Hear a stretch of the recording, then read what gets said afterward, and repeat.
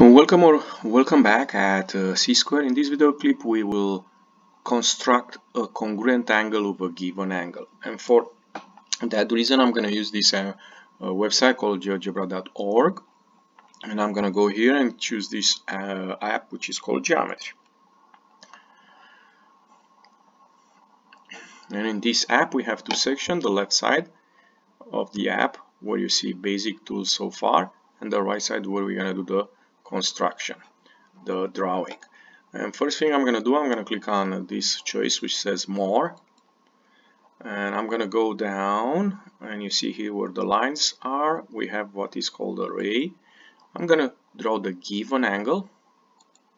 So the given angle is angle A or BAC if you want to use three letters. I'm going to construct an angle that is congruent with this angle BAC. For that reason I'm going to start with a ray ray DE and then I'm gonna construct angle D uh, that is congruent to angle A. Uh, so for that reason I'm gonna go down here where circles are and I'm gonna use the second icon circle center and radius this one which says select center point then enter radius. I'm gonna select the center point the vertex of angle A I'm gonna put a radius of 4 but you can do any other value that uh, fits in your screen. And if you notice now we have two intersection points so I'm gonna move up here. I'm gonna take the uh, basic tool called point and I'm gonna plot these two points. Then I'm gonna click on move because I want to move this point F down here. And I want also to make this circle dashed because I think it looks better okay and now I'm gonna do uh, pretty much the same thing down here. I'm gonna uh, click on the circle center and radius. I'm gonna choose the vertex D now and I'm gonna use the same radius of 4 so use the same radius. And if you notice we have an intersection point here point H is called. Again I'm gonna move this point down here and I'm gonna make this circle dashed okay this point H is the corresponding point for point F on uh, angle A or BAC so now how do I get the corresponding point for point G?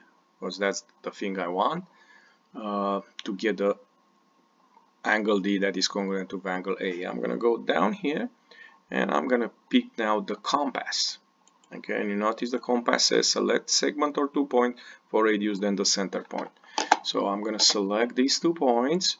This is the radius of the circle. And you see we have a circle and I'm able to move. I'm going to go here and I'm going to center to point H. So basically now I get another point of intersection now between these two uh, shape, the two circles. I'm going to put it here. Let me make that circle dash also and then the next thing I'm gonna draw the ray DI so go down here on lines grab the ray draw the ray. Uh, and now is the final thing. I want to check if really these two angles are congruent. For that reason I'm gonna uh, go uh, here on the left side and you see here the choice measure. The first one is angle. So I'm gonna click on it and I'm going to measure angle BAC and also I'm going to measure the angles IDE. This order is very important in GeoGebra other than that you are going to get a, a different angles. Um, let me go and move these numbers so we can see them 22.5 22.5 both of them are the same yes angle D is congruent angle A and we construct it. The cool thing now about this is uh, I can play with this angle. Let me make it smaller and you see the angle are congruent, still congruent, right?